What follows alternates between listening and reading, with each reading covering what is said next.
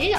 今日はエリカのバッグの中身を紹介します。よろしく。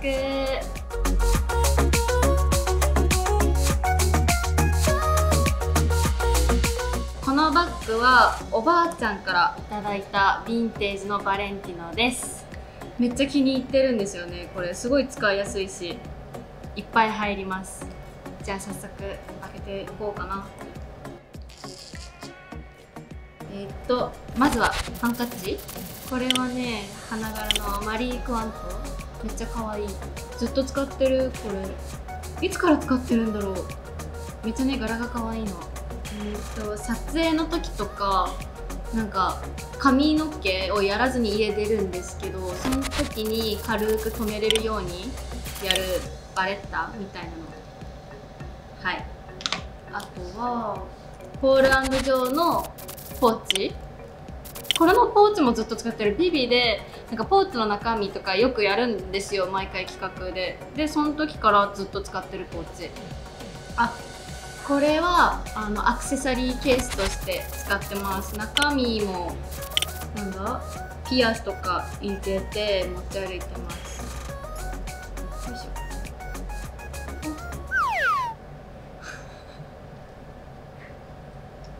ですね。中身。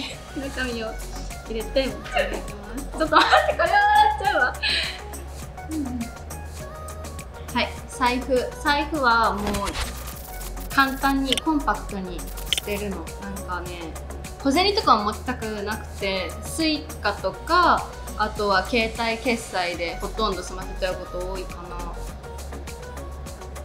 バレンシアガさんすごいこの中だとなんか目立つ？あとはえっと最近ちょっと消毒持ち歩いてこれ消毒なんだけどすごいめっちゃいい匂いするの。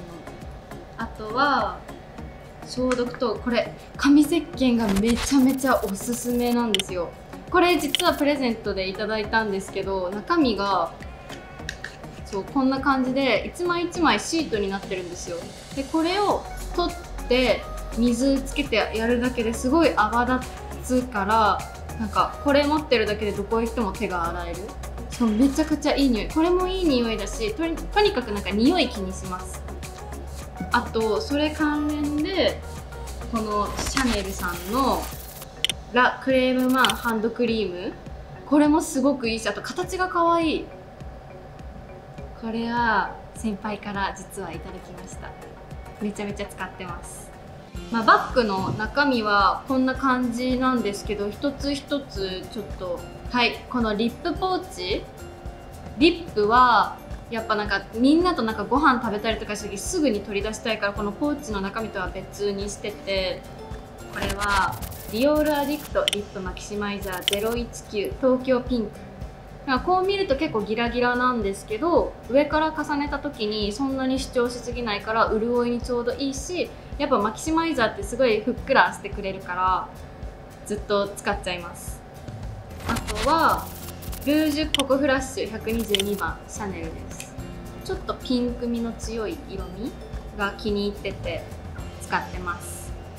あとはアクセサリー入れ今はこのフープピアス H&M のやつこうやって使ってるんですけどなんか気分によって変えたりもしててたまにこういうゴールド系のちょっとコロンとしたのを使ったりとかあこれは、えっと、ブランコさんブランコっていうブランドのものです。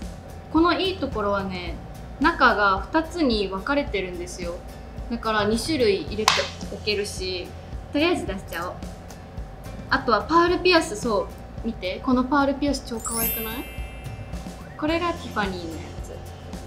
誕生日プレゼントで母親からいただいてからいただいて？母親からもらってからずっと使ってます。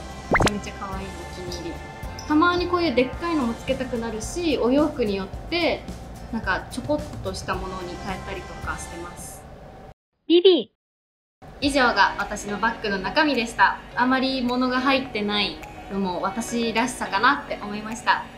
ありがとうございました。バイバーイ。また会いましょ